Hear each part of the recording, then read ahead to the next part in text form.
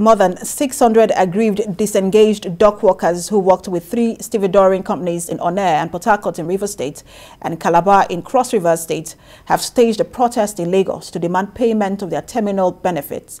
The workers under the platform of the Maritime Workers Union of Nigeria complained about impact of unfair labor practices on them. They want Intels to respect the Nigerian industrial relations process. We have details in this report.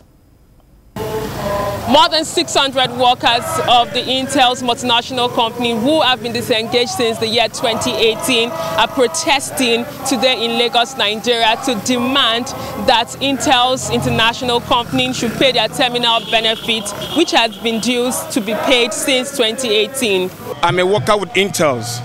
I work with a contractor working with Intels since 2005 to 2013 that the contract was terminated.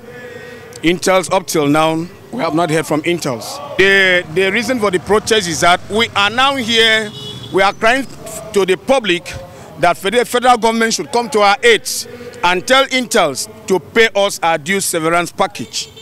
And also, federal government also should look into Intel's activities in Nigeria. Intels have enslaved our workers for that long years. And this is a matured uh, protest. We don't want to take carry laws into our hands. That's why we're taking this process we are doing now, so that government should look into it.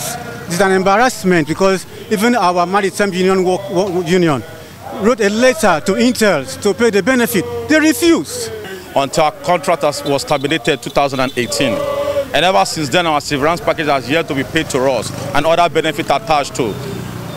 Up to date, we are calling on the federal government because as you can see, even the placard I carried, you can see, it's not just a joke. Over 20 of our members have died as a result of this and yet to be paid.